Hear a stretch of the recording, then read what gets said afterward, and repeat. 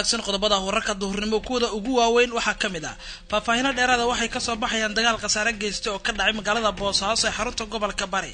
Gudoomiyaha xisbiga himilo qaran oo sheegay in xukuumadda soomaaliya sharciga la tiigsan doona is-hor istaagii safarkii beledweyne gudoomiye iyo ku-xigeenkiisa oo lagu toogtay deegaano hoostaga degmada balcad ee shabeellaha hoose. Taliya ku-xigeenka milatariga waa taliya ku-xigeenka ciidanka xooga oo beeniye warar sheegaya in hub lagala baxay wasaaradda gaashaandhigga taliska militariga soomaaliya oo sheegay in howlgal ka dhana al-shabaab uu ka bilaabanayo deegaanaha hoostaga koonfur galbeed. Dowladda soomaaliya dowladda soomaaliya dib u dhisaysa safaaradda soomaaliya ee faransiiska. Wararka naga soo gaaraya magaalada boosaaso ee xarunta gobolka beri ayaa sheegaya in khasaare uu ka dhashay dagaal ka dhacay duleedka magaalada boosaaso gaar ahaan kontaroolka ay laga soo galo magaalada boosaaso ee dhanka degmada carmo saraakiil ka tirsan laamaha ammaanka ee puntland ayaa u sheegay warbaahinta in dagaalkan ay ka hortageen. In ciidamada ammaanka puntland ay ka hortageen maleeshiyaad ay sheegeen in ay doonayeen falal amni daro inay ka sameeyaan magaalada boosaaso ee xarunta gobolka bari. Hubka noocyadiisa kala duwan ayaa laga maqlayay magaalada boosaaso waxaana wararka qaar ay sheegayaan in dhimasho iyo dhaawac ay ka dhasheen dagaalkaasi iyadoo ilaa iyo haddana la xaqiijin tirada rasmiga ah ee ku dhimatay iyo inta ku dhaawacatay intaba ciidamo ka tirsan kuwa ammaanka puntland iyo ciidamo ka soo kicitimay degmada carmo ayaa dagaalka xoogiisa u dhexeeyey waxaana dagaalku uu ka dhacay buuraha ku dhow kontaroolka magaalada boosaaso maamulka gobolka bari waxa ay diideen inay wax faahfaahina ka bixiyaan dagaalkan waxaana ay sheegeen inay dib faahfaahino dheeraad ay ka bixin doonaan khasaaraha ka dhashay dagaalka. Dagaalka waxaa sababay sida wararku ay sheegayaan khilaaf ka dhashay qandaraas ciidanka badda puntland shirkad laga siiyey. Kaasoo ka dambeeyey markii xukuumadda puntland ay joojisay in shirkadaasi qandaraaska ay sii wadato. Sidoo kalena mas'uuliyiinta puntland ay sheegeen in loo baahan yahay in shirkadaasi ay bixiso qandaraas horey ay u qaadatay laakiin aan la fulin.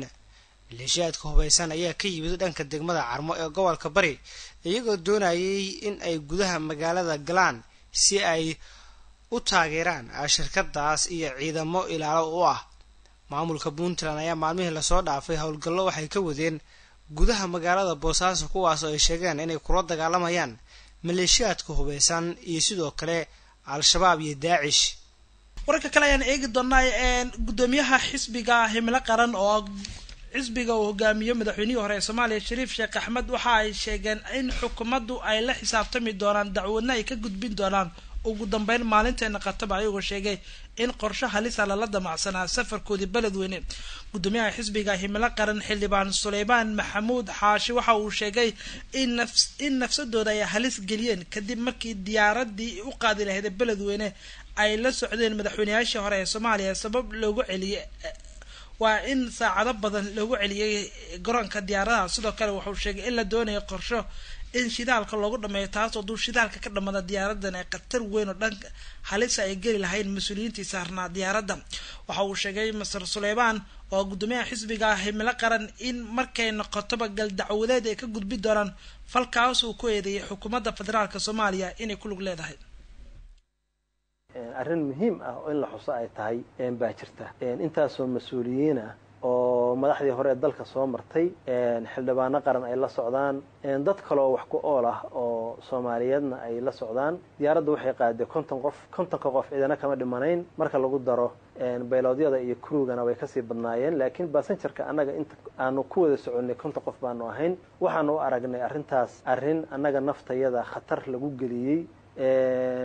Waxa ugu yar oo meesha laga damacsanaana ay ahayd diyaaraddaas inay shidaalku goosato oo intaasoo dadihii oo soomaaliyeed oo madax iyo manjaba isugu jira halkaa lagu waayo arrintaas arrin aada u kulul oo khalaar oo na taabatay oo maaragtay qariska tuurnimo ah nalagu sameeyey ayay ahayd. Waa la ogyahay diyaaradda afartan daqiiqo ayay u socotaa afartan iyo shan daqiiqo meelahaasay u socotaa beledweyne. Annaguna wax laba saacadood ku dhowaano hawada ku jirnay shidaalkay goosan kartay in rakaalka laga dansadaa waxay ahayd riski kale ahayd. Waxaasoo dhanna ku talagal aanu u tiirinayno laanta fulinta ee federaalku inay ka dambeysay ayay ahayd oo aanu ku eedeynayno o u haysano markii loo helo sharci la fulin karana arrintaani waa recorded oo maxkamadeeda waa la furi doonaa. Ciddii kulug lahaydna waa loo soo taagi doonaa. Dembiga leedahayna waa lagu qaadi doonaa haddii ilaahay idmo markii annagu aanu xamar ku soo noqonnay si nabadgelyo ah haddana alxamdulilah waxaa jiray in markaas dad runtii bulsho soomaaliyeed oo ka caraysnaa wixiina lagu sameeyey iyo hagardaamadii diyaaradda ka dhacday ay nagu soo dhoweeyeen xaruntii xisbiga oo markaas ay isugu yimaadeen. Dadka halkaas inaanu kula kulannay oo maaragtay lagu salaamay oo maaragtay aanu baajirtay jenaraal cabdi waa jenaraal cabdixamiid maxamed dirir taliyayaha ciidamada lugta ee xoogga dalka soomaaliyeed oo ku sugan magaalada baydhabo ee xarunta gobolka bay ayaa sheegay in taliska ciidanka xoogga dalka soomaaliya uu dib u dhis xoogan ku sameyn doono ciidamada qalabka sida qaybta lixdaan ee ka howlgala deegaanada maamulka koonfur galbeed si ay u guuleystaan amniga guud ahaan deegaanada maamulkaas. Waxa uu sheegay taliyayaal ciidamada ay noqon doonaan kuwa hormuud u noqonaya ciidamada xoogga dalka soomaaliyeed islamarkaana fuliya howlgallo deegaano badan looga saarayo ururka al-shabaab. Isagoo sii hadlayay hadalkiisa wuxuu intaa ku daray in dhowaan howlgallo kala duwan oo ka dhan ah al-shabaab laga bilaabi doono deegaano ka tirsan koonfur galbeed si toolooyinka weli ay gacanta ku hayaan ururka al-shabaab looga saaro.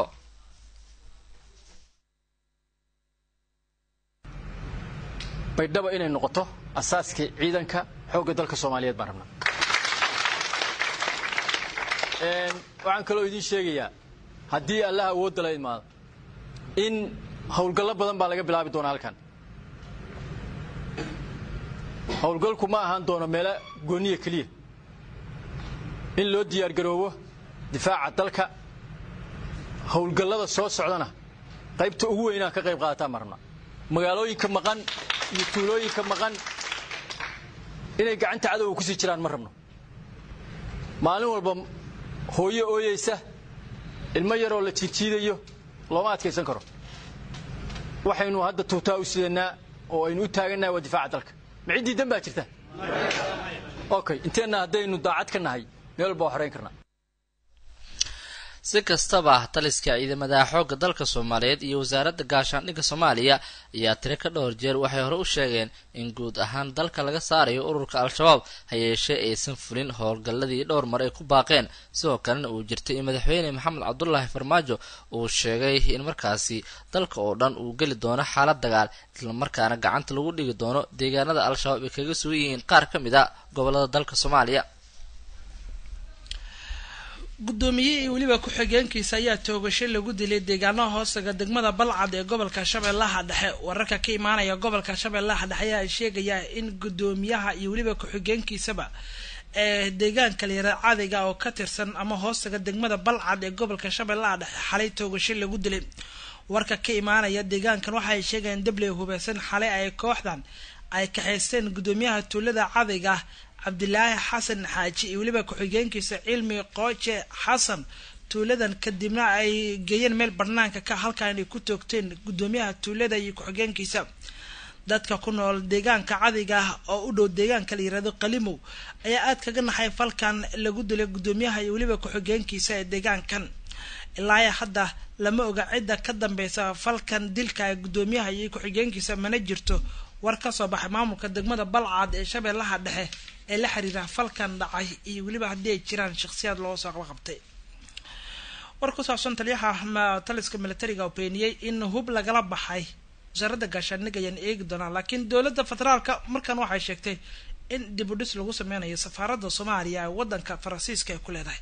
Cali xasan cali ayaa warka dhamaystiraya ra'iisul wasaaraha xukuumadda federaalk ah ee soomaaliya xasan cali kheyre ayaa booqday safaaradda soomaaliya ee ku leedahay dalka faransiiska. Xasan cali kheyre ra'iisul wasaaraha dal oo safaaradda kula kulmay diblomaasiyiinta ka howlgala ayaa ka dhageystay warbixinta guud iyo baahiyaha ay qabaan wuxuuna ballan qaaday in dowladda ee dayactir ku sameyn doonto xarunta safaaradda iyo hoyga safiirka. Ra'iisul wasaaraha ayaa kula dardaarmay shaqaalaha iyo diblomaasiyiinta safaaradda inay sii xoojiyaan howlaha safaaradda oo ay hayaan dowladda ayaa dhowaan waxay dhismo safaaradeed ka iibsatay dalka maraykanka. Waxa ayna hore u sheegtay inay qorsheynayso in la horumariyo dhismooyinka safaaradaha dalalka caalamka ee ku leedahay soomaaliya. Hagaag. Kusimaha taliyaha ciidanka militariga soomaaliya ahna taliya ku-xigeenka ciidanka jenaraal maxamed cali bidaar ayaa waxa uu beeniyey warar sheegaya in hub lagala baxay.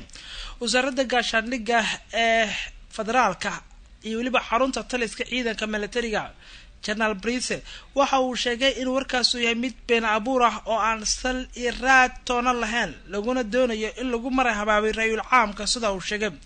Waxaan halkan ka caddeynayaa inay been abuur ay tahay sal raad toona aysan lahayn. Wararka sheegaya in hub lagala baxay wasaaradda gaashaandhigga iyo taliska ciidanka xoogga.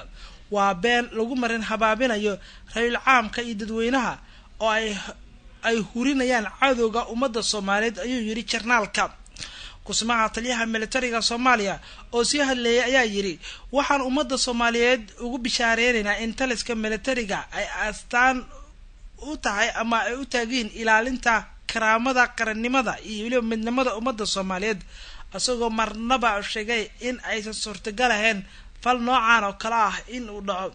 Wuxuuna sheegay in taliska militarigu uu ka go-an yahay ciribtirka cadowga ummadda ugu dambeyn waxa ugu baaqay in ay ka waantoobaan dadka ka holan been abuurka meel kasta oo kuwa war walba ku saabsan arrimaha ciidanka. Warbixintan ayaa ugu dambeysay saaxiibil warkii duurnimada maanta waa nageenta